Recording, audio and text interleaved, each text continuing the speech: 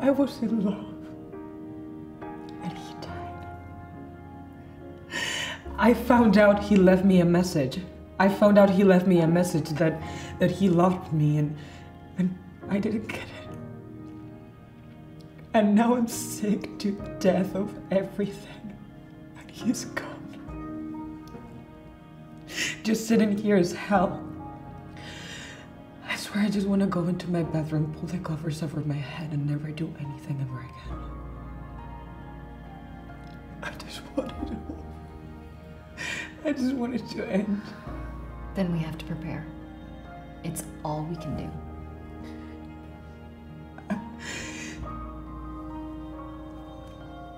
I was loved.